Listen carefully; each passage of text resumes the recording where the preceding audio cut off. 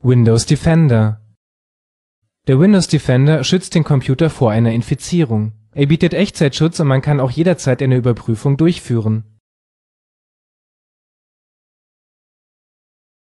Suchen Sie nach Windows Defender und klicken Sie danach auf den Eintrag.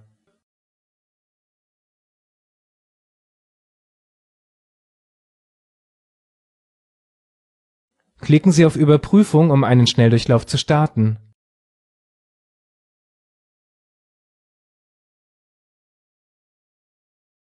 Windows Defender hat nun den Computer auf schädliche Spyware untersucht